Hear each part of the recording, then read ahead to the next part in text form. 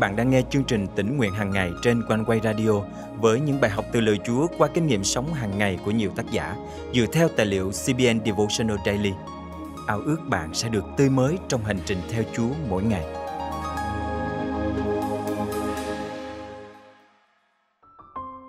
Cũng như những cành nho, nếu bị cắt rời khỏi thân nho sẽ khô héo và chết mất. Cơ đốc nhân chỉ có thể kinh nghiệm được đời sống sung mãn, ý nghĩa khi ở trong Chúa Giêsu và để Ngài tỉ sửa những sai trật. Hôm nay, ngày 19 tháng 3 năm 2022, chương trình tính nguyện hàng ngày thân mời quý thính giả cùng suy gẫm lời Chúa với tác giả Danny Andrew qua chủ đề Hãy cứ ở trong ta. Bạn tôi trồng nho ở khu vườn sau nhà và nhiều dây nho leo lên hàng rào. Những dây leo này đã hoàn toàn đang xen vào hàng rào và phủ kín khắp nơi. Một số dây nho đã bắt đầu chết và chúng cần được cắt tỉa. Sáng nay trong giờ tĩnh nguyện của mình, tôi quyết định mở tập sách nhỏ trước khi đọc bài trong quyển sách tĩnh nguyện hàng ngày của mình. Câu kinh thánh trong tập sách nhỏ đó là Giăng chương 15 câu 4. Hãy cứ ở trong ta, thì ta sẽ ở trong các con. Như cành nho, nếu không ở trong cây nho, thì tự nó không thể ra quả được. Nếu các con không cứ ở trong ta, thì cũng như vậy. Tôi nghĩ rằng đó là phần kinh thánh tuyệt vời để bắt đầu ngày mới tôi đặt tập sách nhỏ xuống và bắt đầu mở cuốn sách tĩnh nguyện hàng ngày của mình. Thật ngạc nhiên khi câu kinh thánh cho bài tĩnh nguyện ngày hôm đó của cuốn sách cũng là văn chương 15 câu 4.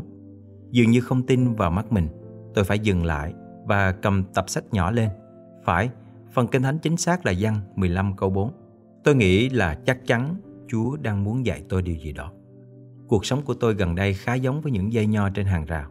Nó cứ xoắn lại vào nhau và đi theo mọi hướng nhưng tiếc là không phải hướng cần đi.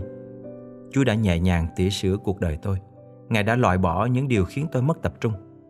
Những điều lấy đi niềm vui của cuộc sống tôi trong Chúa Giêsu. Thực tế là những sự lo lắng, căng thẳng đã cướp đi niềm vui của tôi. Lo lắng càng nhiều thì tôi làm việc càng ít. Làm càng ít thì tôi càng căng thẳng và lo lắng nhiều hơn. Cuộc sống của tôi trở nên rối bời và như những dây nho dính chặt vào hàng rào, tủa đi mọi hướng một cách vô trật tự. Để hoàn thành công việc, tôi đã lập một lịch trình. Tôi đã tạo ra một danh sách những việc phải làm mỗi ngày và khung thời gian cần phải hoàn thành từng việc.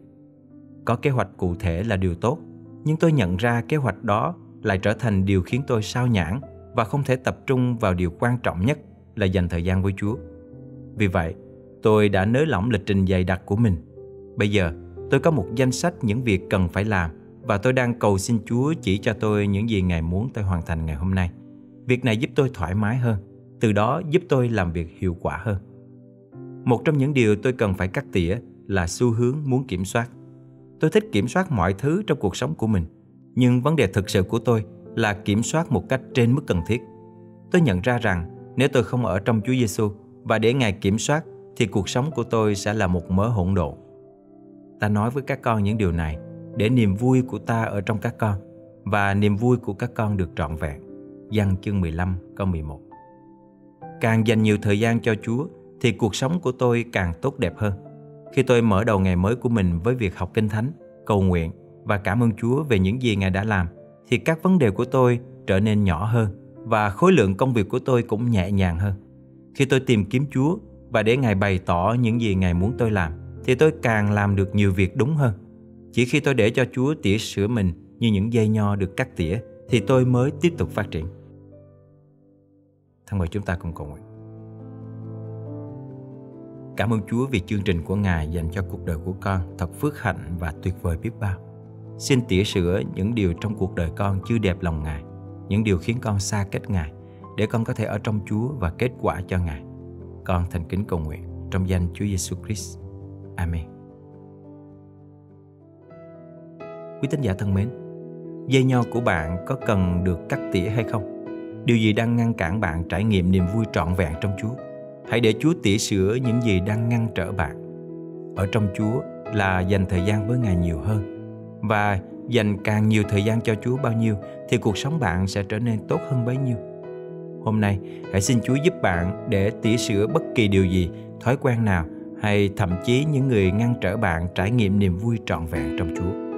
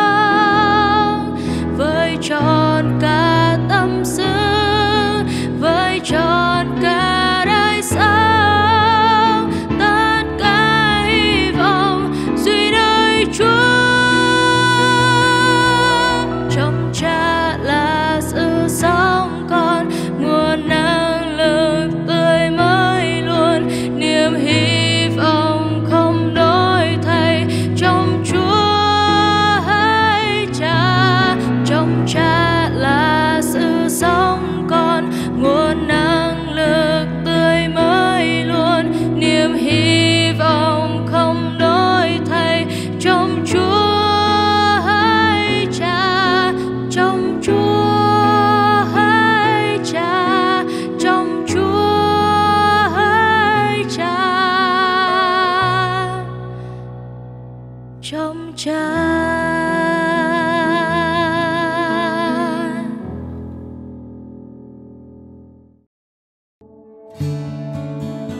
Nhờ có chương trình này mà tôi sáng nào cũng tỉnh nguyện và cầu nguyện. Mỗi buổi sáng thì lại mới luôn, sự thành tín Ngài là lớn lắm. Cảm ơn chương trình, cảm tạ Chúa, cầu Chúa ban phước cho những người làm chương trình này. Xin cảm ơn quanquay.vn đã cho tôi một bài học mới. Dù đang nỗ lực đưa người khác đến với Đấng Christ, nhưng không nên bỏ bê mối quan hệ yêu thương đối với các thánh đồ. Xin cầu nguyện cho tôi để có thể thực hành được cả hai. Trên đây là hai trong vô số những lời nhắn đầy khích lệ và yêu thương mà ban biên tập chương trình tỉnh nguyện hàng ngày nhận được mỗi ngày.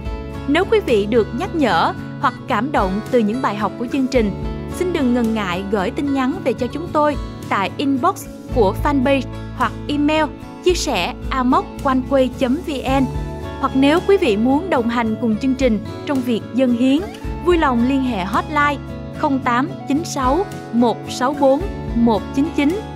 Đừng quên bấm theo dõi kênh và chia sẻ chương trình này cho bạn bè và người thân quý vị nhé. Nguyện Chúa ban cho quý vị một ngày phước hạnh.